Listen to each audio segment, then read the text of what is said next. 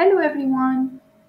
Today I am going to share with you 10 helpful tips to improve your spelling. Tip number 1 Use mnemonics. Remembering information can be difficult, but when you give that information more meaning, it becomes easier to memorize. Mnemonic devices turn information into a picture, a sentence, a rhyme, or anything else that's easier to remember. Tip number two learn some rules. Sometimes the best way to learn is to know the rules. Start by learning a few.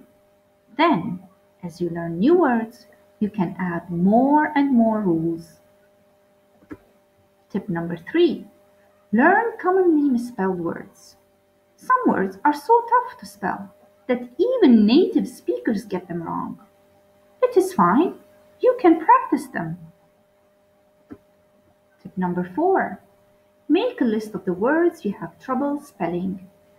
Instead of studying a list of words made by someone else, why not make your own? Write down words that you have trouble spelling them. Then learn their spelling rules or memorize them with mnemonics. Tip number five. Check word origins in the dictionary. Many English words have Greek and Roman roots. This means they have Greek or Latin words in them. Knowing common roots can help you spell and understand more words. Tip number six. Pronounce the word. This is a spelling trick that is often taught to little kids because it's so simple. If you're not sure how to spell a word, Say it out loud, very slowly. Then write down what you hear. Tip number seven chunk the word. Sometimes words are difficult to spell just because they are long. In these cases, you can chunk the words using the chunking method. Chunking is when you separate the word into chunks or shorter parts.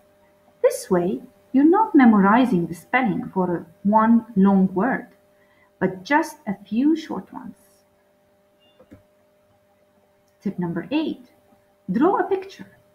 Have you ever noticed that the word bad actually looks like a bad? Drawing a picture is a great way to remember the spelling of the word. Tip number nine play word games. Playing word games is a fun way to test your new spelling skills. It's also a good way to learn new words.